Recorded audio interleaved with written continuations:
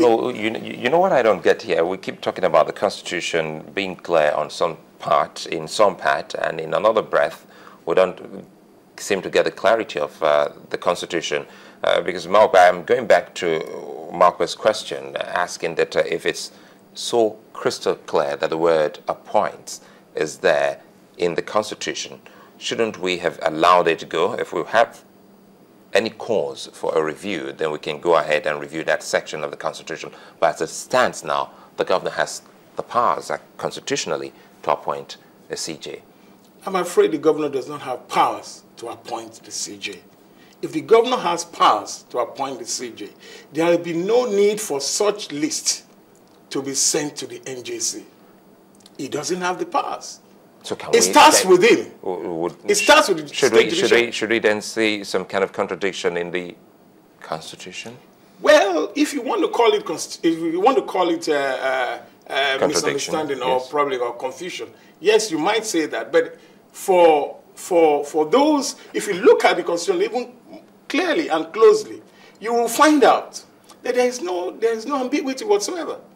We had an interview with the governor, and he also states that, uh, well, uh, they gave reasons, and some of the reasons also has to do with uh, some form of interest within the NJC and uh, Justice Okocha uh, having uh, a relative of hers in the NJC, and they're not comfortable with it.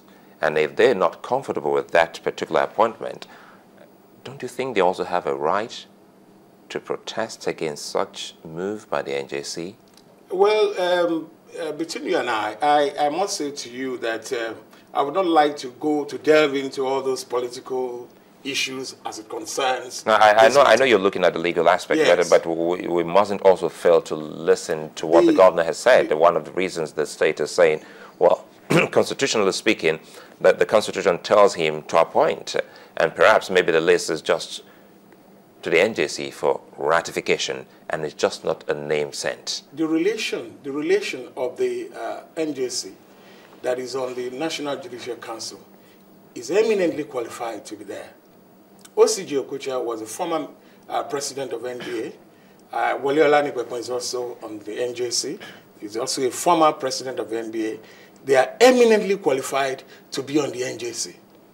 They are not there because, uh, and I'm sure OCJ Okocha has been there for up to five years now since he was president of NBA, and um, he did not, uh, he wasn't put there, as it were, by the powers that be, by the NJC, because of this matter. In fact, he probably never knew that this issue of his uh, sister or whatever, I don't know, relation, becoming the chief judge of uh, River State, he never knew that such a thing will come up.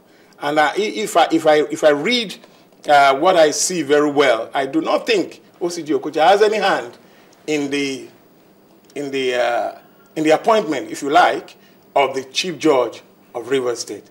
Because there are 25 members there, and I'm sure uh, if OCJ Okocha even wanted to put uh, a relation there, uh, will be, his uh, voice will be drowned by the voice of the 24 other members of the NJC.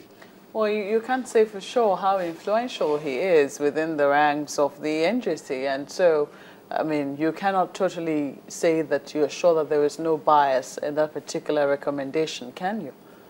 Yes, um, I cannot say that because I mean I'm not. Uh, You're not a member of the NJC. I'm not a member of the NJC and I don't have any facts to that effect. But what I'm saying is that OCJ Okocha, being on the board, uh, sorry, being on the NJC, on the council, um, he's been is there because he's eminently qualified to be there. Mm-hmm. He's been there for years now. I'm sure. I think OCJ Okocha was the president of NBA before Wale Olanipekun, and that should be up Can, to can I six, ask seven you years a now. question? You yeah. are a lawyer. Yes. If you were in court and you found out that your that the judge is a relative to the person who is accused, would you say that that person might not be biased against, you know, a side in that particular case? Um, like I said to you, yeah, that is a different kettle of fish, if you ask me.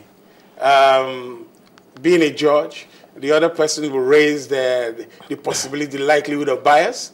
I mean, that's to that extent. If that is raised, I mean, a lot, whole lot of authorities, the proper thing for the judge to do is to uh, step down and say, no, I can't take this matter.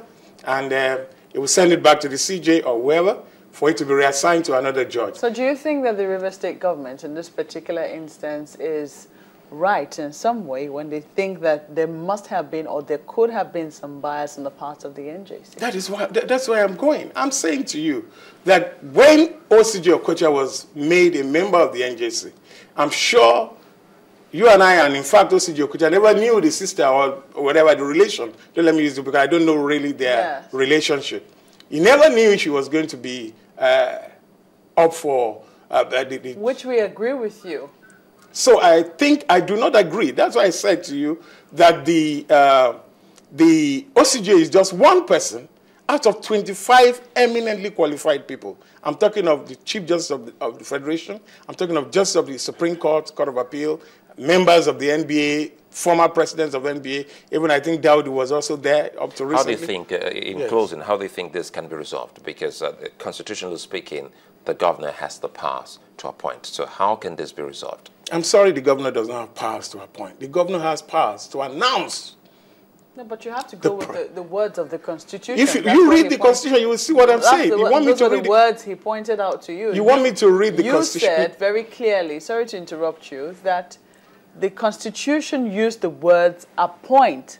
Are we correct on that? appoint on if you read the words of the constitution if you read it in conjunction with part 3 i mean schedule 3 to the constitution you find out that the governor does not have power to appoint You said we have The- to read it in the- conjunction, but he asked that question based on the words that are in one part of the Constitution. that's the point i'm making if you mm. listen to me clearly the the NJS, the the state judicial service commission brings up a list if it were possible for the governor to just appoint the chief judge of the state, the governor, there will be no need for referral to the NJC. When you refer to the NJC, the NJC now recommends out of the list, this is the person. The what the governor just needs to do is to just pick that person and put the, The person there. president has powers to appoint his ministers, but they still go through screening by No, the there- Senate. there's still provision for screening by the House of Assembly. My point when that goes back, listen now, listen now. When that goes back, there's still provision for screening by the members of the House of Assembly. No, there's still provision. That is the law. If you read further down, section 271, read section 158, because and section 20, subsection, subsection 1, sub C of the Constitution of the, of the third schedule, you will find out that what the governor does is to actually announce, the, the Constitution might even have created this problem. Once the NJC picks somebody, the governor just says they have picked the person and he puts him there. That's what to do. Osahon Ihenyen, uh, a legal practitioner, I would like to thank you so very much for coming on the program. Thank you very much for inviting me. We'll take another moment here, and when we return, another perspective on this matter. Stay with us.